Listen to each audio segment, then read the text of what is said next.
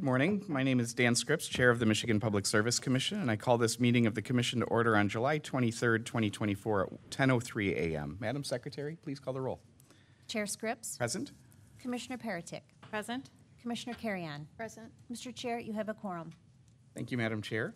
Today's meeting is being held in person at the Commission's office here at 7109 West Saginaw Highway in Lansing, Michigan. We are also hosting this meeting remotely using Microsoft Teams. Telephone relay service is available through the phone option. If you are participating via Microsoft Teams, you may also turn on the live captions by clicking on the More button at the top right of your Teams window, then clicking on Language and Speech from the drop-down menu, and finally clicking on Turn on Live Captions.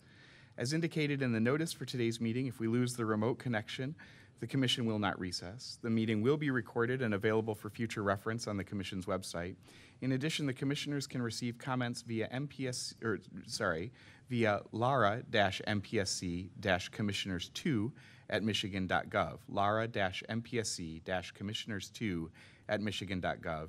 And for reference, this email is also included in today's meeting notice. We will have an opportunity for the public to make comments as provided in the agenda. Few notes about this. Uh, Comments are limited to one per person and three minutes a person.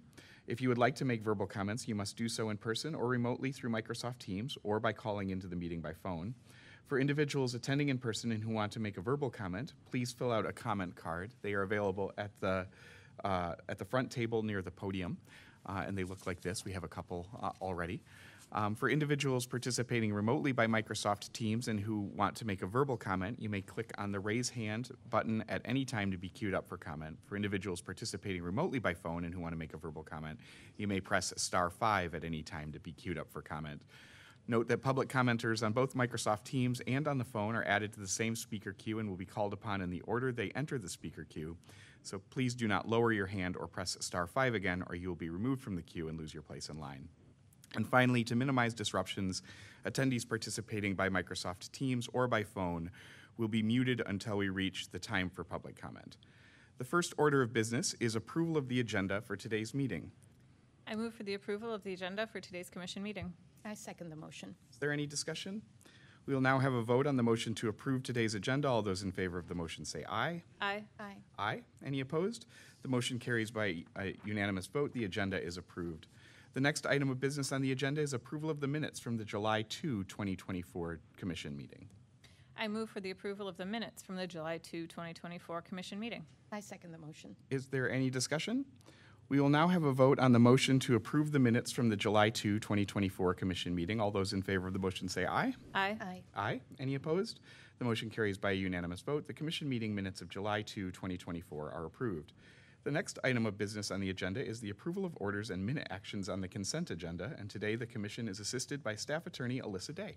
I recognize Ms. Day. Good morning. Morning. Today's consent agenda consists of five communications matters, 11 electric matters, and one gas matter. The proposed orders and minute actions for these matters have been thoroughly vetted by the Commission's technical and legal staff and are ready for your approval. Thank you, Ms. Day. I move for the approval of the orders and minute actions on the consent agenda. I second the motion. Is there any discussion? We will now have a vote on the motion to approve the orders and minute actions on the consent agenda. All those in favor of the motion say aye. Aye. Aye. Aye. Any opposed? The motion carries by unanimous vote. The orders and minute actions on the consent agenda are approved. I recognize Ms. Day. Item 4A1 is case number U17377, which involves implementation of the provisions of Public Act 95 of two- 2013. The order before you adopts the funding factor for the Low Income Energy Assistance Fund for 2024 through 2025. I move for the approval of the order in case number U-17377. I second the motion. Is there any discussion? We will now have a vote on the motion to approve the order. All those in favor of the motion say aye. Aye. Aye. Aye. Any opposed? The motion carries by a unanimous vote. The order in case number U-17377 is approved. I recognize Ms. Day. Item 4A2 is case number U17473, which involves a request filed by Consumers Energy Company for approval of the company's 2024 annual true-up adjustment to the current securitization charges in conformity with the December 6, 2013 order in this docket. The order before you approves the request and accepts Consumers Energy Company's 2024 annual true-up adjustment. I move for the approval of the order in case number U-17473. I second the motion. Is there any discussion? We will now have a vote on the motion to approve the order. All those in favor of the motion say aye. Aye. Aye. Aye. Any opposed? The motion carries by a unanimous vote. The order in case number U-17473 is approved. I recognize Ms. Day. Item 4A3 is case number U20496, which involves an application by Consumers Energy Company requesting ex parte approval of a power purchase agreement amendment. The order before you grants National Energy of Lincoln LLC's request to withdraw its petition for rehearing. I move for the approval of the order in case number U-20496. I- Sec, oops. Oh, I second motion.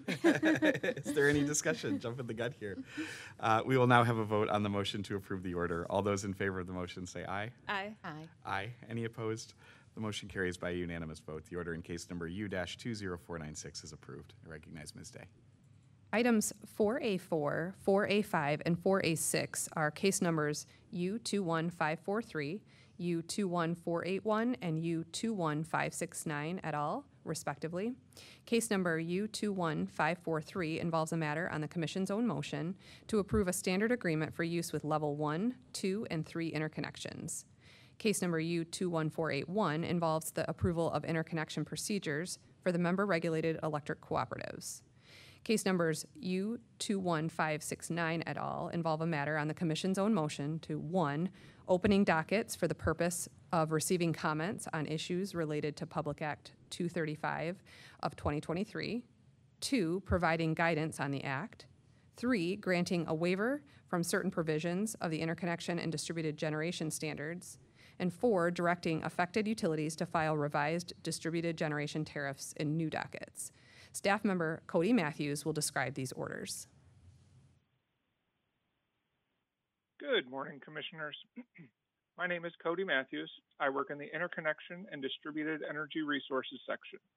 I will be discussing three orders today that relate to the approval of the Michigan Electric Cooperative Association, the MECA Co-ops, interconnection procedures, approval of a standard level 1, 2, and 3 interconnection agreement, and the Commission's findings related to Sections 173 and 177 and related definitions of Public Act 235 of 2023. On April 25, 2023, the Michigan Interconnection and Distributed Generation Standards, the MIXDG rules, became effective. The MIXDG rules require each electric utility to develop a set of interconnection procedures and file them for Commission review.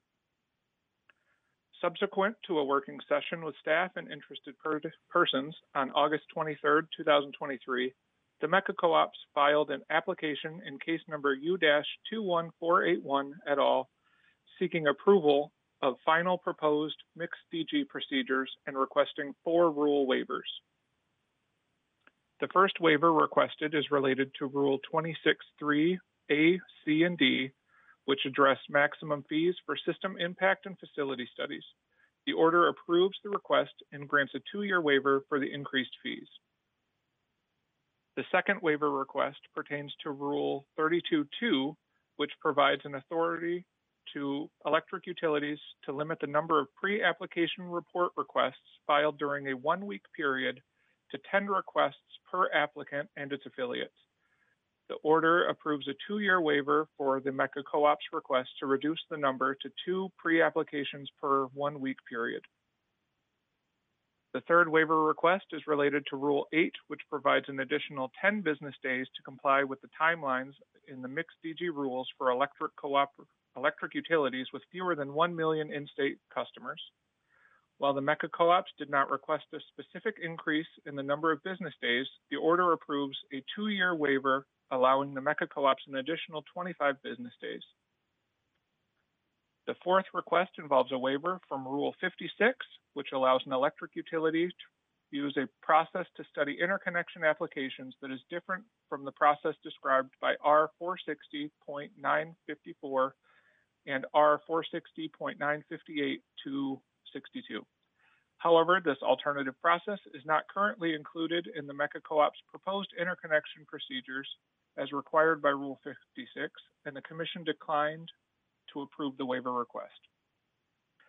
The order finds that the MECA Co-op shall utilize the standard level 1, 2, and 3 interconnection agreement approved today in the July 23, 2024 order in case number U-21543, which I'll describe next, and the standard level 4 and 5 interconnection agreement attached to the staff's May 22, 2024 comments and agreed to by the MECA Co-ops in reply comments. The order finds that the MECA co-ops should file interconnection procedures and forms in this docket consistent with the findings in this order within 30 days of the date of this order.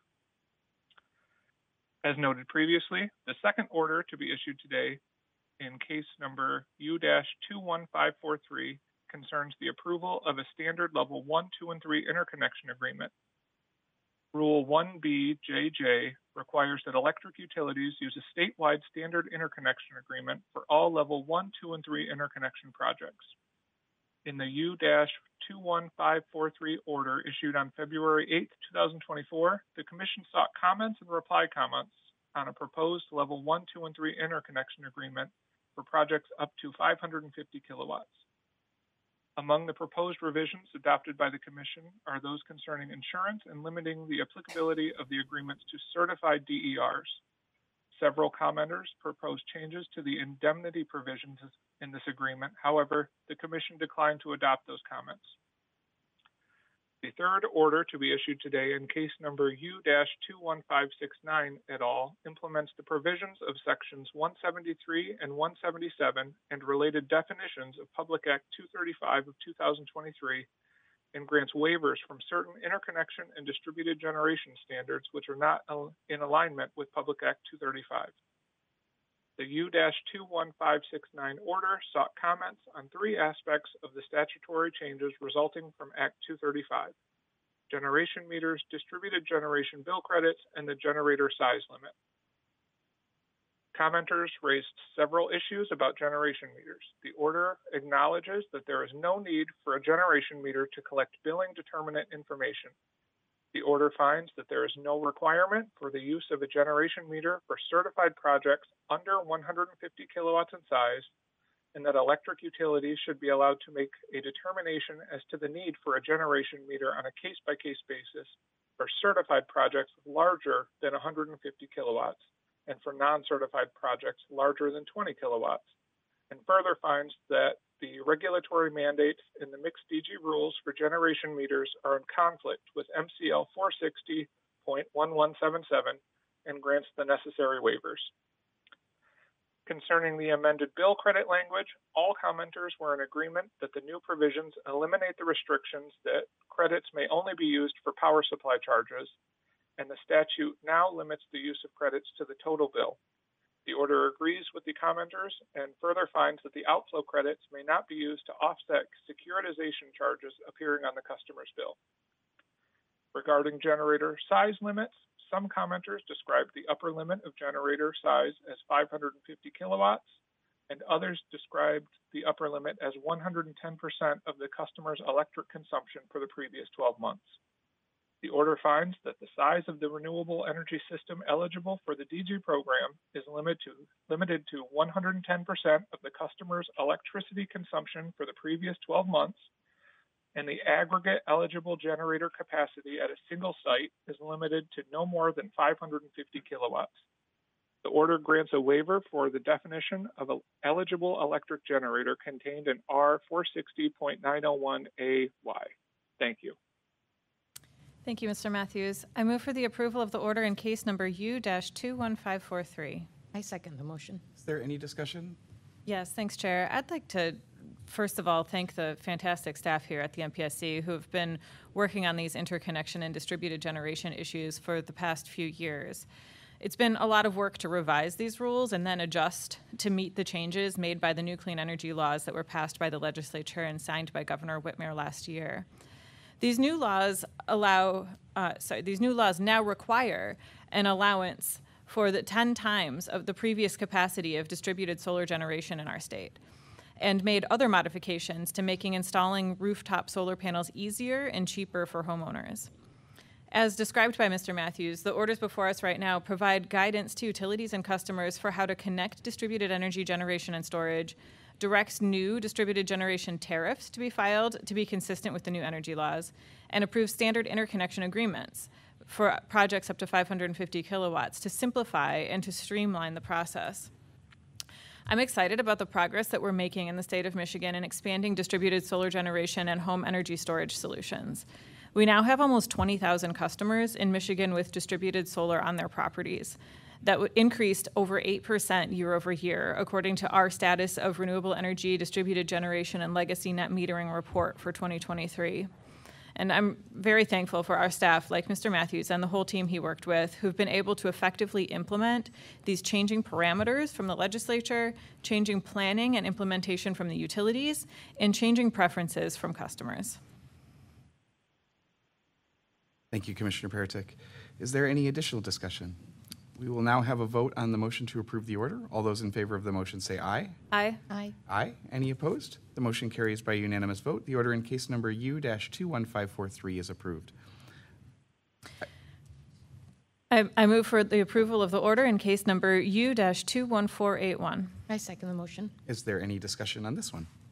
We will now have a vote on the motion to approve the order. All those in favor of the motion say aye. Aye. Aye. Aye. Any opposed? The motion carries by a unanimous vote. The order in case number U-21481 is also approved.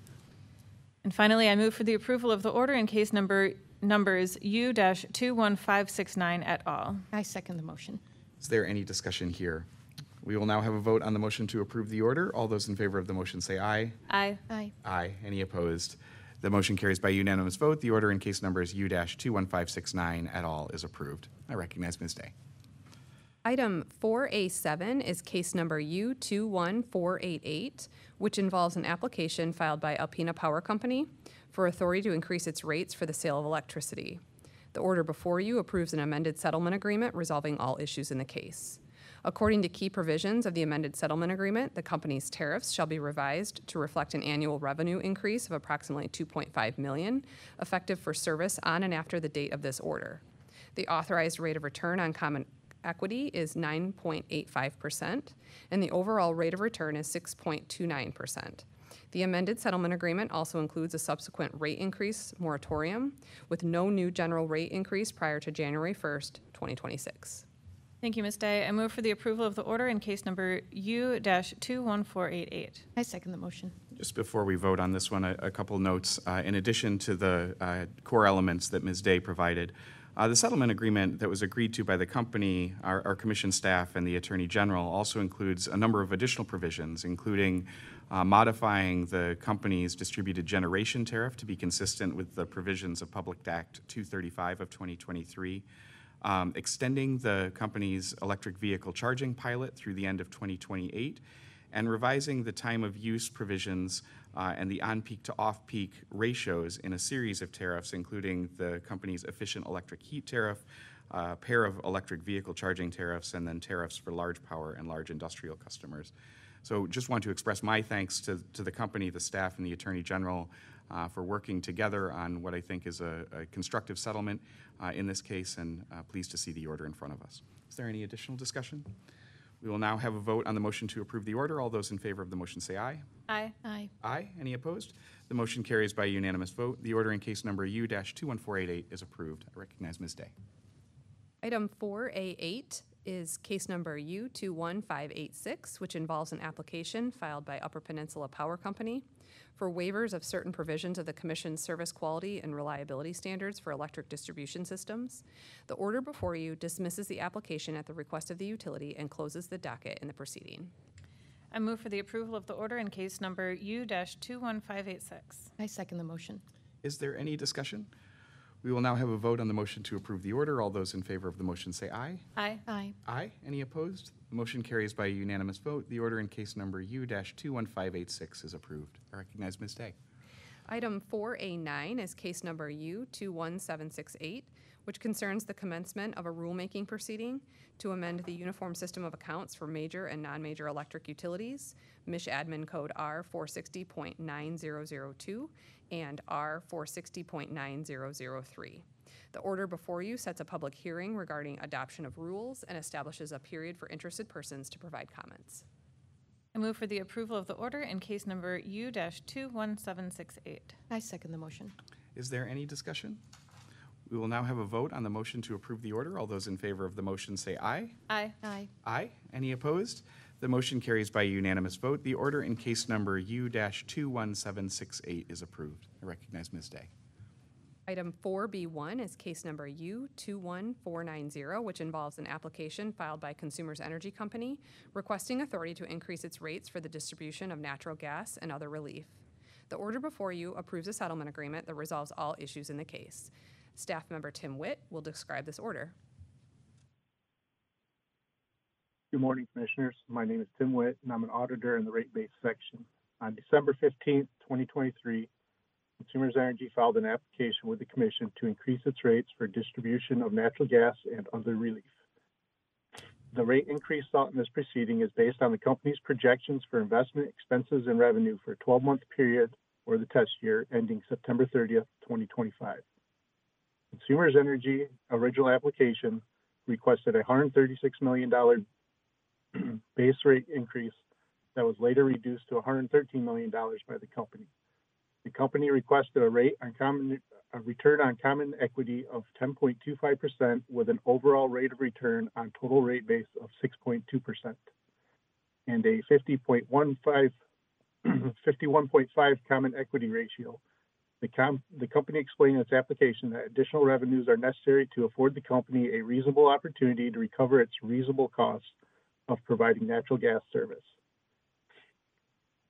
Intervention in the case was granted to multiple parties, including Commission staff, the Attorney General, the Association of Business Advocating Tariff Equity, Retail Energy Supply Association, Lansing Board of Water and Light, Michigan State University, Citizens Utility Board of Michigan, and Energy Michigan.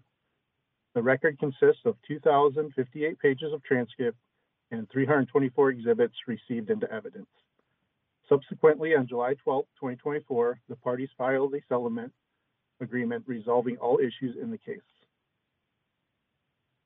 The settlement agreement provides guidance in a number of areas, and a few are highlighted here.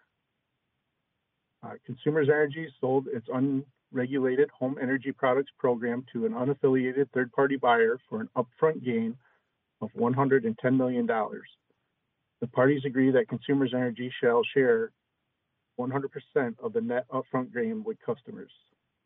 $27.5 million will be used as an offset to revenue deficiency in the upcoming test year, and the remaining $82.5 million will be credited back to customers over a three-year period. The Enhanced Infrastructure Replacement Program, EIRP, shall have a spend amount of 215 $1.3 million for the 12 months ending September 30th, 2025. The company will continue to file its annual EIRP planning and performance reports. In its next gas rate case filing, Consumers Energy will provide a cost of service study version that shows a more granular allocation of other distribution plant and the impact of utilizing the average and excess allocation. Also, in its next gas rate case filing, Consumers Energy will undertake two studies with the participation and input of interested parties. The first, the first study will examine the break-even points and bringing the break-even points and the customer charges closer to cost of service. The second study will provide a more detailed analysis of the Federal Energy Regulatory Commission FERC account 378 regarding station equipment. Consumers Energy is authorized to implement a pension and other post-employment benefits, OPEB, volatility mechanism that authorizes the company to compare actual pension and OPEB expense to amounts included in rates, with any difference recorded as a regulatory asset or regulatory liability for future recovery from or credit to customers and would be amortized over 10 years starting the following January. The parties agree that new rates will be effective October 1st, 2024. The order before you approves a settlement agreement that adopts an October 1st, 2024 through September 30th, 2025 test year an authorized rate of return on common equity of 9.9% and a common equity ratio of 50%.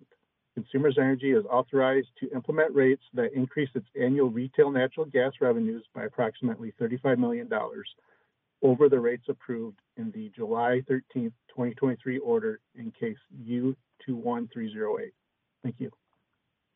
Thank you, Mr. Witt. I move for the approval of the order in case number U-21490. I second the motion. Is there any discussion? Yep, I, I only have a couple of comments uh, I'd like to make, Chair, as Mr. Witt already did an excellent job summarizing uh, the highlights of this order. Um, So first, I want to thank all the interveners in this case, including our MPSC staff, the Attorney General, and the numerous organizations who contributed their expertise and collaborated towards the resolutions presented in the settlement agreement.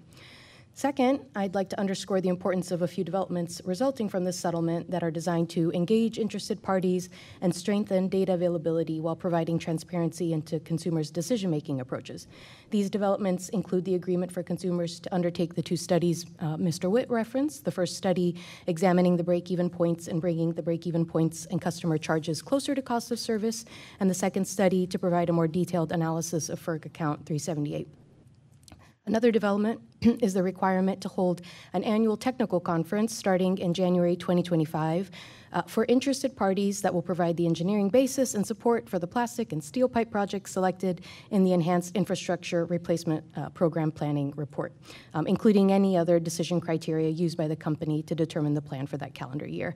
And so I would like to encourage those interested in participating and providing input into these studies or the annual conference to engage as able, as these are opportunities not only to receive more insight on the company's performance reports or, or cost of service, but they also help inform future prioritization of investment in our energy infrastructure. And these studies and the conference are all examples of important ways our utilities can keep the public or interested parties involved and informed on the data and technical details of key infrastructure proposals. Thank you, Commissioner Carreon. Is there any additional discussion? We will now have a vote on the motion to approve the order. All those in favor of the motion say aye. Aye. Aye. Aye. Any opposed? The motion carries by unanimous vote. The order in case number U-21490 is approved. I Recognize Ms. Day. Item 4B2 is case number U21629, which involves an application filed by Consumers Energy Company for ex parte approval to construct and operate the proposed O305 well line, which consists of a new six-inch natural gas pipeline in the Oversea, oh, I'm sorry, Sor- Storage Field in Allegan County. The order before you approves the application and makes the required agency findings regarding the project's environmental impact. Thank you, Ms. Day. I move for the approval of the order in case number U-21629. I second the motion. Is there any discussion? We will now have a vote on the motion to approve the order. All those in favor of the motion say aye. Aye. Aye. Aye. Any opposed? Motion carries by a unanimous vote. The order in case number U-21629 is approved. And for the last time today, I recognize Ms. Day. Item 4B3 is case number U21656, which involves an ex parte application filed by Consumers Energy Company for approval to utilize a regulatory asset to defer the loss associated with the potential sale of the company's Riverside storage field. The order before you approves the application. I move for the approval of the order in case number U-21656. I second the motion. Is there any discussion? We will now have a vote on the motion to approve the order. All those in favor of the motion say aye. Aye. Aye. Aye. Any opposed? The motion carries by a unanimous vote. The order in case number U-21656 is approved. We've now reached the time reserved for members of the public to address the commission. As mentioned in the notice for today's meeting, we will take public comments in the following order. First from individuals attending in person, and then from individuals participating remotely, either through Microsoft Teams or the phone who have entered the speaker queue. As a reminder, this public comment period is for commissioners to listen to comments and concerns and not to answer specific questions. When providing comment, please indicate your name and where you live if you are willing to share so that we have it for our records. And again, please limit comments to one per person and keep them brief, no longer than three minutes, so we have a chance to hear from all who would like to comment. We do have a couple of comment cards, three, uh, in fact. Um, and so we'll start with those and then uh, we'll go to the, the virtual options. Um, the first is Val shoot, Wolscheid Brennan. I think I got it. So excellent. Uh, and then Carol Sanborn.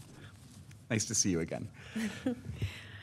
Good morning, Commissioners. Um, Thank you uh, for letting me speak again today.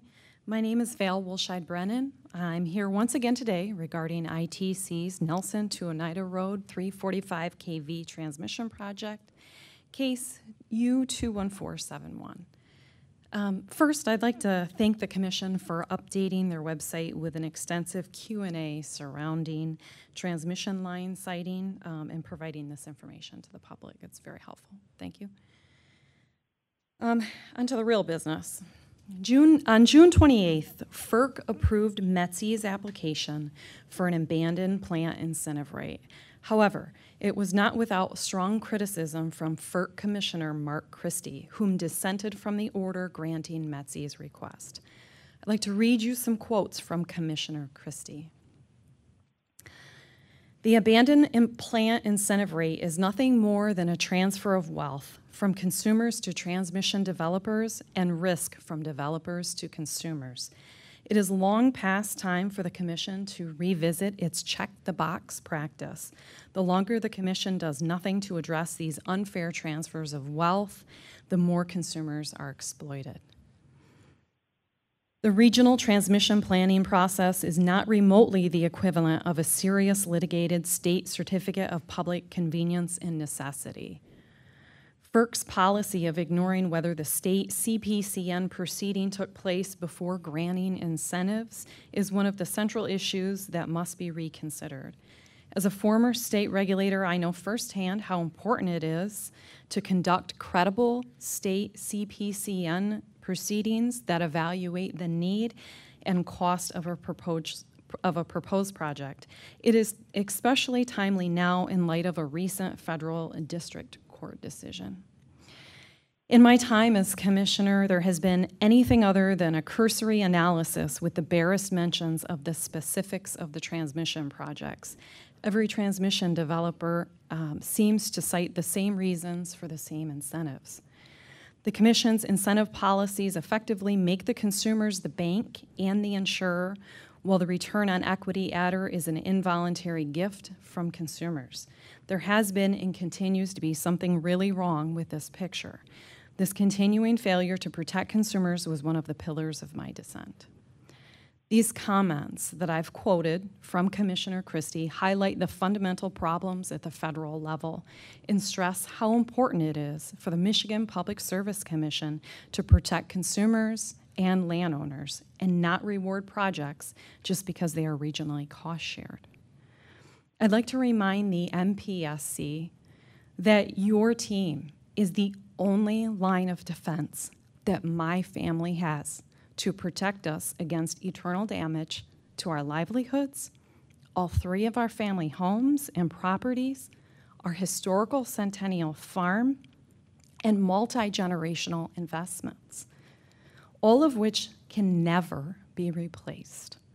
We are enduring severe stress and emotional damage while spending our life savings, retirements, and kids' college funds to intervene at the MPSC level because our many attempts to resolve concerns with ITC are ignored or denied. This is deeply unfair, and we will never receive compensation for our damages while ITC gets reimbursed 100%. The hundreds of Michiganders affected by this project should not be unnecessarily damaged by a for profit company trying to avoid future reliability upgrades and the cost of replacing facilities due to age and condition. Thank you for your time and letting me speak again today. Thank you. Uh, Carol Sanborn is next, and then Robert Williams. Ms. Sanborn, nice to see you again. Hi, Carol Sanborn. I live in North Pewamo by the Maple River on Hubbardston Road. Um, I'm also talking about this U two one four seven one Nelson Road to Oneida project. And today, I just wanted to try to play um, a short video that my son sent me. he was by Rose, Rose City near a 345 kilovolt line. And I'll just play it so you can hear it. And I'll, I'll put it on the loudest I can.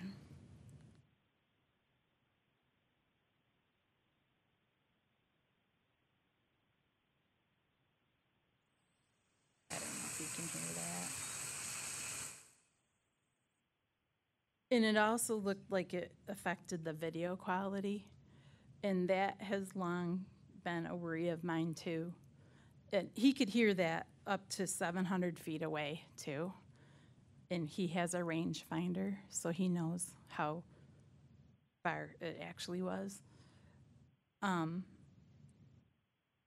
I worry about that affecting our home, like if I can work from home anymore, if it's gonna affect our TVs or our radio reception, any of that stuff.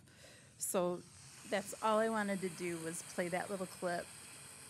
To me, it sounds like a frying pan. Constantly, I don't like it. I'm afraid of what it'll do to my mental health and my physical health. So that's all I wanted to say today. Thank you, Ms. Sanborn. And Robert Williams. Good morning again. My name is Robert Williams, and this is regarding case 21472, the ITC Holdings Helix to Hippo portion of the transmission line project. I am the owner and manager of 18MI, which is a federally registered airport just south of Marshall. And it is set up, it'll be an air park where we'll have, right now there are two houses, up to five houses with hangars and aircraft, um, generating income to the state and local tax revenue for, long past when we're all gone for decades. Um, I talked to a Hanya, Tanya Harding on March 20th, sent her a letter, she reviewed it, we actually talked on the telephone. She is a senior permit specialist for ITC Holdings. She turned that over to the planning department, and as of March 21st, I have heard nothing from anything from the planning department from the ITC Holdings. Um, I I spoke at previous meetings, and if they go online to the public comment now, everything is shown. I have some documentary. I am on the proposed route. Um, There is an option I came up with, which I'm sure they've never even looked at, just to move it slightly on the proposed route, uh, slightly shorter than what they have proposed. And that would completely eliminate any problems I have. What they want to do is run right across the middle of the runway, which would close the airport. It runs within approximately 150 feet of the house on my property.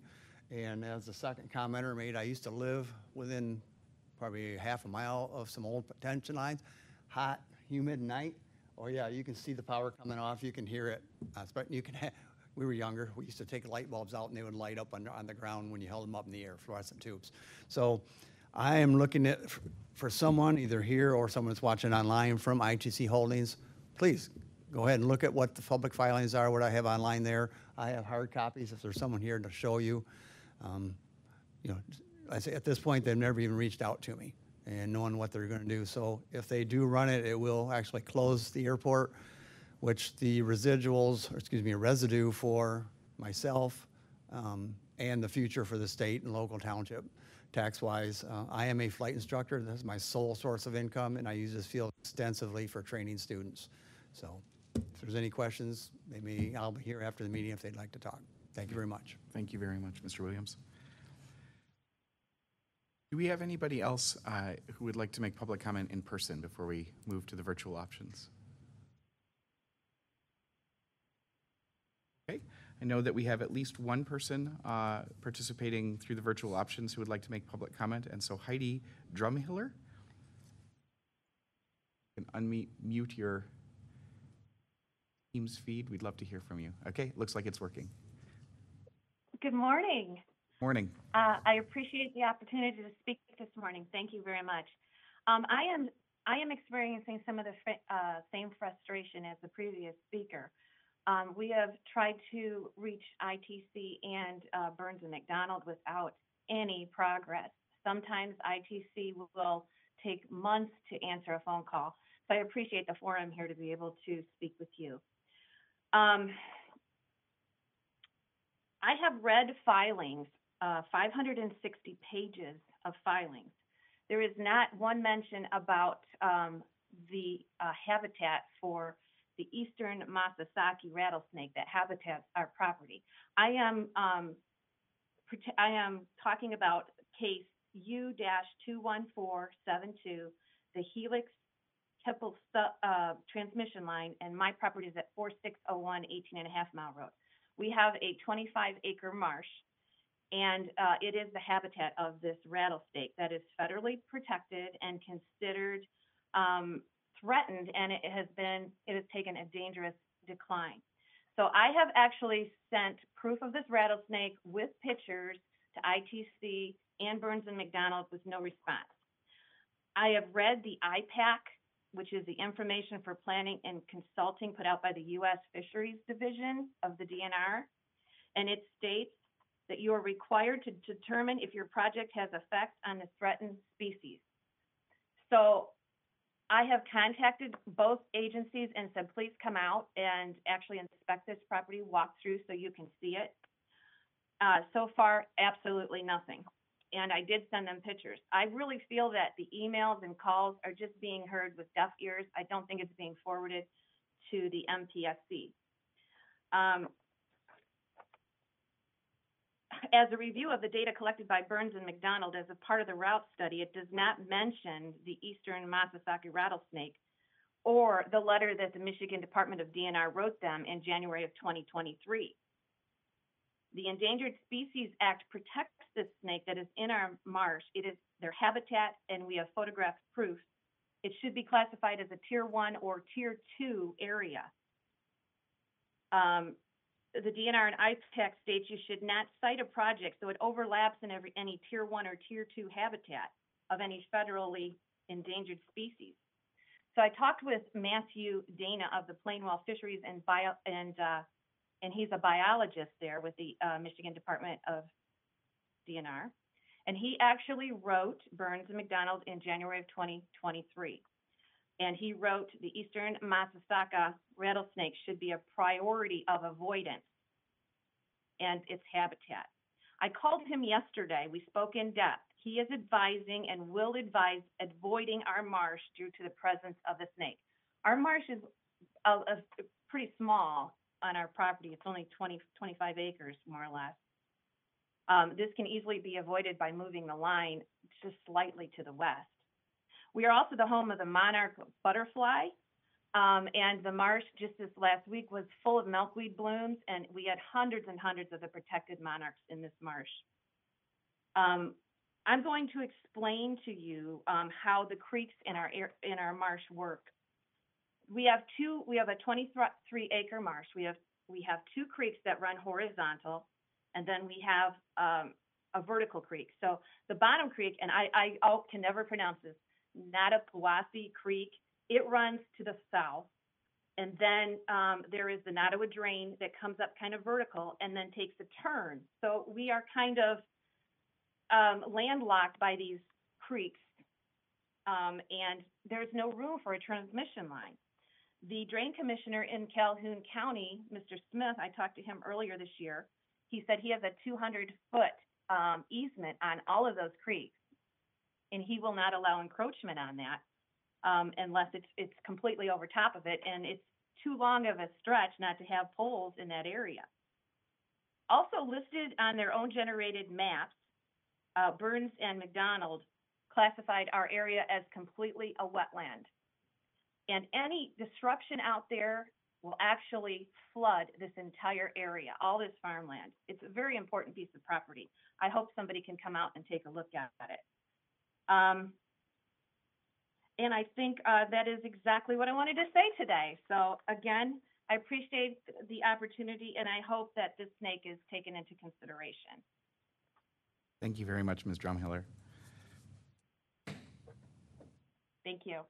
I think that that uh, is all the folks who have signaled an interest um, in providing public comment today. So we will conclude the public comment period of the meeting. Uh, please note that the public may continue to uh, submit comments to the commissioners at any time via email at lara-mpsc-commissioners2 at michigan.gov. And again, that is that email address is in the the meeting notice um, for today's meeting as well.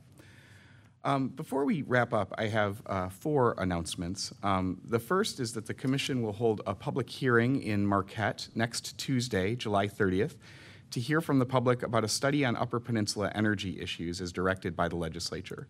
Uh, all three commissioners and a number of our staff will be on hand from 6 to 8 p.m. at the Northern Michigan University Northern Central Ballroom 2 uh, which is located at, at 1401 Presque Isle Avenue in Marquette. Uh, we're looking forward to, to meeting with and hearing the, the perspectives of Upper Peninsula residents. Second, next month, on Wednesday, August 28th, we will have a public hearing in Flint, uh, also from 6 to 8 p.m. at the Riverfront Conference Center on the campus of the University of Michigan Flint. That's located at 1 Riverfront Plaza in Flint. Uh, And this is related to uh, case number U-21638, which we opened at May, in May pursuant to the energy reforms adopted by the legislature last year, uh, to consider options to expand opportunities for public engagement in the commission's decision-making processes and procedures, uh, and look forward to, to hearing from individuals there as well.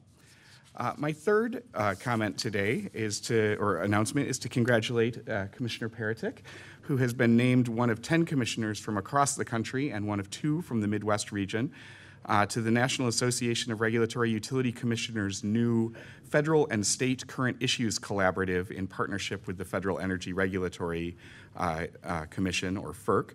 Um, The collaborative is designed to provide a venue for federal and state regulators to share perspectives, improve understanding, and where appropriate, identify potential solutions regarding challenges and coordination on matters that affect specific state and federal regulatory jurisdictions, with potential topics to include exploring where best to coordinate between state and federal regulators on issues ranging from electric reliability and resource adequacy to natural gas electric coordination, wholesale and retail markets, new technologies and innovations and infrastructure. So congratulations on being named to that new collaborative. And then finally, I would uh, invite former Commissioner Bob Nelson to come forward if he is so willing. It's always fun to embarrass our commissioners emeritus. Commissioner Nelson was appointed, you can have a seat there in either one, uh, appointed by Governor Engler in May 1999 to the commission and reappointed in August of that year. He served with distinction as a member of the Public Service Commission representing independents uh, through July 2nd, 2025, or 2005, sorry. Didn't mean to keep you here that long. Uh, He's also had a rich post-commission career, including perhaps most notably helping to form the Citizens Utility Board uh, of Michigan, or CUB as it's often known, and serving on its board of directors until stepping down earlier this year as he pursues retirement full-time. Both at the MPSC and with CUB, uh, Commissioner Nelson has been universally regarded for his thoughtfulness, his kindness, his regulatory expertise, and his passion for the interests of utility customers. Uh, what folks may not know, though, is that he's also well known internally, at least, as the informal bard of the commission, helping to uh, initiate a tradition of commissioner karaoke, where we take popular songs and rewrite them with energy and telecommunications themes. Yes, we really are that nerdy here. Uh, that has led to such favorites as the Eagles' Take It Easy, uh, being uh, repurposed by former Commissioner Norm Saari as Taken Evie. Uh, George Strait's classic Amarillo by Morning uh, to bid former Chair Sally Talberg goodbye with ERCOT Board by Morning, and with great offense to Prince, uh, redoing Purple Rain as PURPA Rain. Um, it's a tradition that carries on to this day and started by Commissioner Nelson. So as you prepare to step into retirement, I want to congratulate you on your many contributions, both in the orders and work of the commission, and perhaps even more importantly, to the culture of the commission and to CUB and the organizations that you've been a part of. Um, while you were all about those rates, those rates and tariffs, to perhaps paraphrase Mer- Meghan Trainor's classic, as a commissioner, you showed us that, uh, according to the Beatles, all you need is love, or perhaps all you need is cub in your retirement years. and maybe to start with the opening lines of those, there's nothing you can do Bob hasn't done. He told us, he taught us all to sing, and then we sung. And perhaps that's the greatest tribute of all. So congratulations and good luck in your next chapter. Well, thank, thank you for this very much appreciated recognition. I, one of my first songs was Danny Be Good uh, to the retiring Commissioner Dan Demlo. And so uh, it started with, with Danny Be Good, and we've, we've had many songs after that, including the ones that you've mentioned.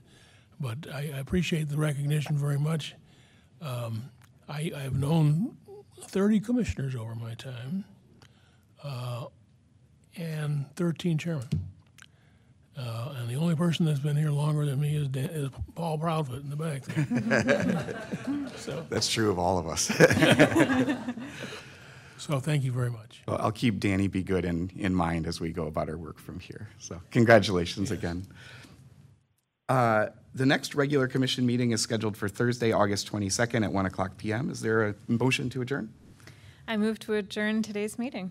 I second the motion. We will now have a vote on the motion to adjourn the meeting. All those in favor say aye. Aye. Aye. Aye. Any opposed? The motion carries by a unanimous vote. The meeting is adjourned. Thanks, everybody.